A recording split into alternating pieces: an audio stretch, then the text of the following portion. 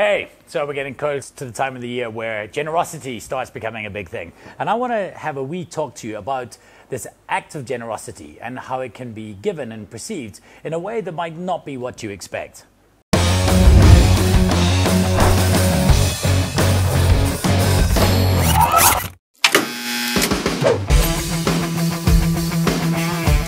Share this story with you, I need to tell you a story that was shared with me uh, by another friend, a guy by the name of Craig Rodney. He was one of the groomsmen at my wedding, an amazing person. If you've not uh, come across him in the past, you need to seek him out on the socials. He's an incredible human being.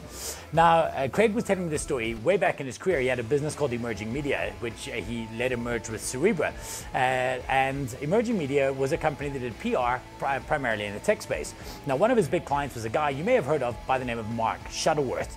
And Craig would do all of this work with Mark, and it was uh, uh, really cool. And he became somewhat of a trusted advisor in that space. And once Craig told me a great story that he was over in London and he was doing some work with Mark. And at the break, he, you know, he, he, had a great day and he wanted to, to do something special. And he said to Mark, hey, uh, should we go somewhere nice for lunch? And Mark was like, cool. This. Now, for those of you who don't know, Mark Shuttleworth is an extremely successful South African entrepreneur, like a billionaire, one of the big kind of the earliest big tech successes in South African history. Uh, done amazing things, like just you know, if you don't know him, Google him. I mean, you must know him. Mark Shuttleworth, for goodness sake. Come on, catch your wake up. Anyway, so they decide to have a break for lunch, and off they go. Craig says, you know, should we go somewhere quite nice? And Mark says, cool, he knows this place, and off they go, and they go to this place.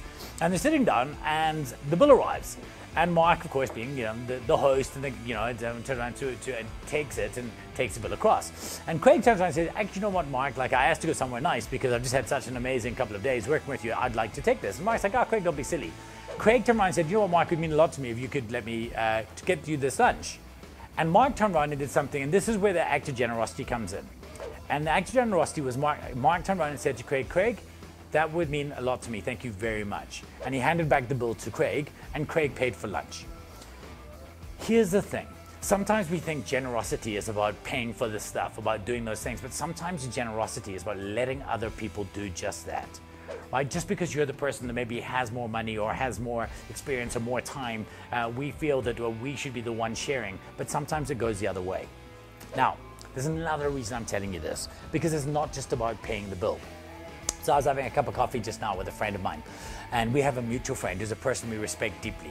And this person, every time we see them, we go out to lunch and I write in my, my to do better list that day, you know, listen more to this person, uh, you know, ask more questions. Because every time I leave, this guy's so generous with his listening. And it's a great skill. You know, we're always told listen more. And he's so generous with his listening that we'll sit down and, and we'll start off, you know, so how are you? And what are you working on? And then I'll start telling him, and then I'll say, and so that's me. And I'll say, no, but what are you working on? he'll say, no, no, but hold on a second. I'm, I'm so fascinated by what you just told me. Could you tell me a bit more about this thing? And it's this, again, counterintuitive generosity. We're told to listen, but sometimes we need to also let other people learn about us. Sometimes we need to give of ourselves in order to let somebody else turn around and say, hey, that's amazing. And, you know, you're great too. I don't want to be the person who's just receiving their feedback, their thank you. They're not a parent, it's an acquaintance. And again, this is a person who I hold in such high regard. This isn't a diss in any way, and I would never want them to change, but every now and then I'd like them to, to trust me and to be generous enough to let me pay. Right, to let me give some ideas and some feedback and some to be some generous with my ideas too. So that's the thought. Sometimes we have to be counterintuitive about our, our, perceptions around what it means to be generous. It's not always about being the person who's giving, right? Being the person who's listening. Sometimes it works both ways, and there is a degree of a balance. You don't always have to be the person that reaches for the billfold. Sometimes let the other person do it, even if you perceive that they have less. In fact, especially if you perceive they have less. That's it for me today. Stay curious. Peace. Hey, what's up? This is Skinny from Missing Link.